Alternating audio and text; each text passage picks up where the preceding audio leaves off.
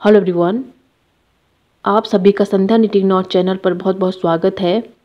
उम्मीद करती हूँ आप स्वस्थ होंगे। आज की वीडियो में देखिए, हम ये बुनाई का डिज़ाइन सीखेंगे। इसे बनाना बहुत ही आसान है। अगर आपको आज का वीडियो अच्छा लगे तो प्लीज़ चैनल को सब्सक्राइब कीजिए विद बेल आइकन ताकि आने वाली नई वीडियो की नोटिफिकेशन आपको मिलती रहे। इस डिज़ाइन को बनाने के लिए आपको जो फंदे कास्ट ऑन करने हैं, देखिए फंदे किस तरह से डालने हैं। एस्टिच को छोड़कर two, plus two plus two plus two, इस तरह से और आखिर में भी एक एक्स्ट्रा एस स्टिच लेना होगा और दो सिलाई में बनकर कंप्लीट हो जाता है। फ़र्स्ट रो राइट साइड से पहला फंदा स्लिप करेंगे। यहाँ से हमारा रिपीट पैटर्न स्टार्ट होगा। दो फंदे उल्टे बनाएँगे। वापस से इन दोनों फंदों को हम लेफ़्ट साइड की नीडल पर रखेंगे और धागे को आगे की तरफ़ से पीछे ले जाना है। और वापस से राइट साइड पर रखेंगे इन दोनों फंदों को। फिर से धागा अपनी तरफ़ ले आना है। दो फंदे उल्टे बुनेंगे। दोनों फंदों को लेफ़्ट नीडल पर रखेंगे और धागा दोनों फंदों के ऊपर से पीछे की तरफ़ ले जाएँगे। फिर से यही पैटर्न रिपीट करेंगे। दो फंदे उल्टे बुनेंगे। वापस से लेफ़्ट साइड की नीडल पर दोनों फंदों को रखेंगे। धागे को आगे की तरफ़ से पीछे ले जाना है। फिर से धागा अपनी तरफ़ ले आएँगे। दो फंदे उल्टे बुनेंगे। वापस से उसी नीडल पर रखेंगे और धागे को पीछे की तरफ़ ले जाएँगे। फिर से राइट साइड की नीडल पर ले जाएँगे दोनों फंदों को। दो फंदे उल्टे। दोनों फंदों को राइट साइड की नीडल पर रखते हुए दोनों धागा पीछे की तरफ़ ले जाना है और इसी तरह से पूरी रो हमने बना देनी है।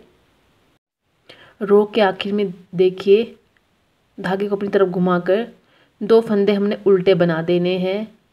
वापस से उसी नीडल पर रखेंगे और धागे को आगे की तरफ़ से पीछे ले जाना है। फिर से दोनों फंदों को राइट साइड की नीडल पर रखेंगे और दो फंदे फिर से उल्टे बुनेंगे, धागा अपनी तरफ़ लेकर। वापस से लेफ़्ट साइड की नीडल पर रखेंगे, धागे को आगे की तरफ़ से पीछे ले जाएँगे और दोनों फंदों को वापस से राइट साइड की पर ले जाएँगे और ए स्टिच को हमने सीधा बना देना है।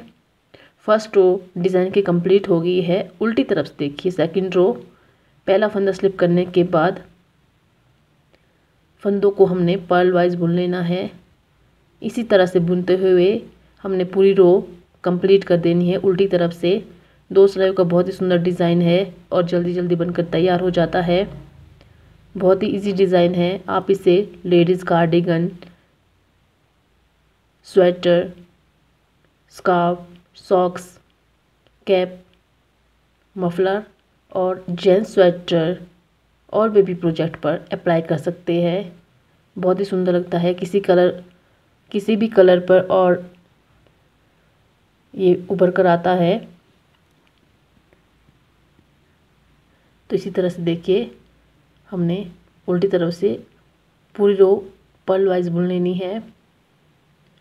आपने जो फंदे कास्ट ऑन करने हैं, दो प्लस दो प्लस दो, इस तरह से आपने फंदे डाल देने हैं। और दो सिलाइयों का ही डिज़ाइन है। दो सिलाइयों के बाद हमारा जो डिज़ाइन है, फिर से रिपीट होगा। देखिए, मैंने उल्टी तरफ़ से भी पूरी रो बनाकर कंप्लीट कर दी है। डिज़ाइन को देखिए मैं एक बार फिर से रिपीट करके बता देती हूँ। पहला फंदा हर बार की तरह हम स्लिप कर देंगे, फिर धागा अपनी तरफ़ घुमाना है। दो फंदे हमने सीधी तरफ़ से उल्टे बनाने हैं और लेफ़्ट साइड पर दोबारा से उन दोनों फंदों को रखना है और धागे को दोनों फंदों के ऊपर से पीछे ले जाना है। फिर से राइट साइड के पर फंदों को रखेंगे। धागे को अपनी तरफ़ ले आना है फिर से और दो फंदे हमने उल्टे बना देने हैं, सीधी तरफ़ से। वापस से हमने उसी नीडल पर ले आने हैं, फंदे जिस नीडल से हमने बनाए थे और आगे की तरफ़ से दोनों फंदों के ऊपर से धागा पीछे की तरफ़ ले जाएँगे। फिर से राइट साइड की नीडल पर दोनों फंदों को रखेंगे। धागा अपनी तरफ़ घुमाकर दो फंदे उल्टे बनाएँगे। दोनों फंदों को उसी नीडल पर रखेंगे। धागे को पीछे की तरफ़ ले जाएँगे आगे की तरफ़ से और वापस से आगे की तरफ़ ले आना है। दोनों फंदों को उल्टा बना देना है। उल्टा बनाने के बाद लेफ़्ट साइड की पर दोनों फंदों को ले आना है और आगे की तरफ़ से धागे को पीछे की तरफ़ ले जाएँगे।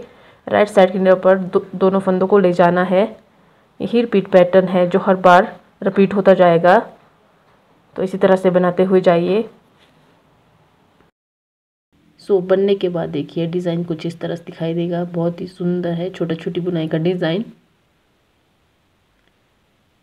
अगर आपको आज का वीडियो अच्छा लगे तो प्लीज़ चैनल को सब्सक्राइब कीजिए और बेल आइकन को प्रेस कीजिए ताकि आने वाली नई वीडियो की नोटिफिकेशन आपको मिलती रहे।